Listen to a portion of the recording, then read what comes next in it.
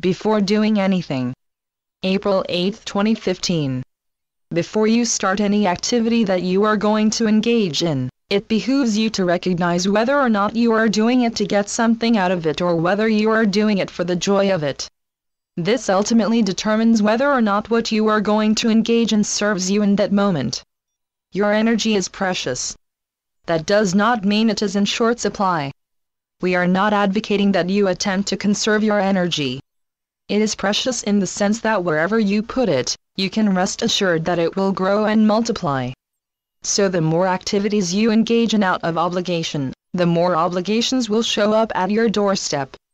So you want to be very precise and intentional about where you put your energy, about what you expend your energy on. Now, we know that all of you have activities on your things to do list that you would view as chores. They are the things that you don't want to do, and you never really feel like you want to do them, but you do them anyway. The next time you are faced with one of those tasks, and you feel that you really must get to it, instead of putting your energy there, ask to be shown a way to do that same activity in joy. The more times you do something out of a sense of obligation, or because you feel you need to do it just to get it done, the less of your energy you bring to that activity.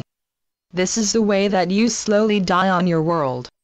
And so, when it comes to something that you need to do, because the doing of it is better than the consequences of not doing it, ask for that way of doing it in joy, and then wait for your inspiration.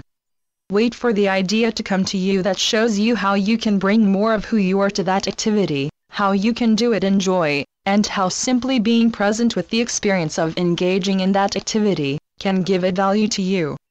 Be selective. Be intentional.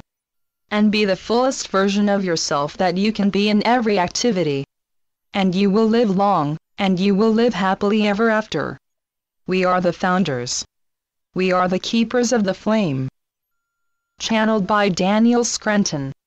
DanielScranton.com